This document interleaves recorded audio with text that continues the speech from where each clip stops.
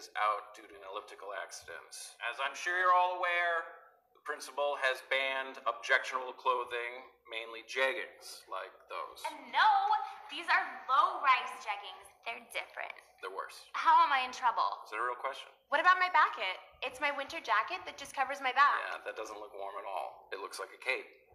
What is that? A fleece zip up. Not you, you. It's a fleece nip up. It starts just above my nips. Nips, got it. Not allowed. Ew, you're such an old fogey. Does that mean something now that it didn't used to? What about Nadia? She's wearing like a cloak or something. It's a burqa. That's fine. That is not. It's a crotchless burqa. You would literally be killed with rocks for wearing that in certain countries. Oh, can I wear my reverse thong? It's jeans everywhere except for my butt crack. That's not sanitary. Don't sit back down. What about my strapless dress? That is fine. What about my dressless straps? I feel like I should be arrested for just being in this classroom. What about Jack rings? And those are Gene Dick rings? definitely banned, and yours looks infected, bro. Take it down. Listen up, you sluts! These are the rules.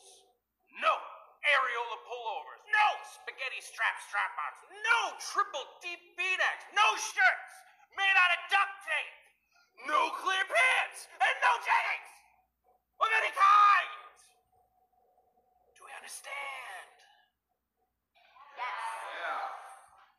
Open your textbooks to page 222. There's a chapter in What there. the f- is that a It's a reverse thong. You jealous? See, I get to wear this because I'm a bogey. So don't. Drink it! This is what it means